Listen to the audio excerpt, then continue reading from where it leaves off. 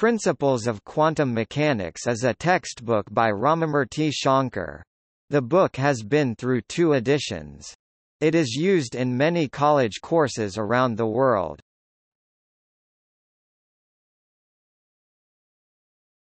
Topic: Contents.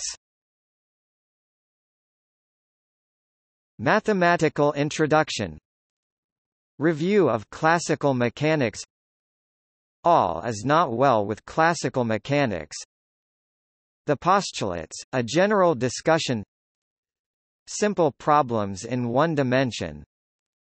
The classical limit. The harmonic oscillator. The path integral formulation of quantum theory. The Heisenberg uncertainty relations. Systems with n.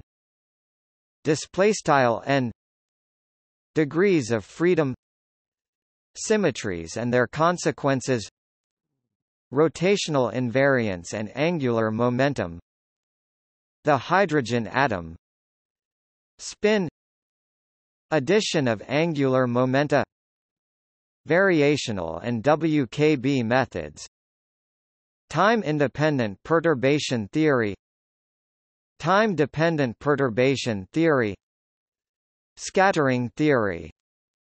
The Dirac equation. Path integrals, 2 Appendix. Topic. Reviews. Physics Bulletin said about the book no matter how gently one introduces students to the concept of Dirac's bras and kets, many are turned off.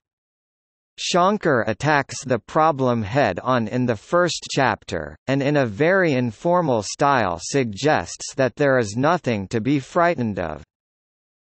American Scientist called it an excellent text.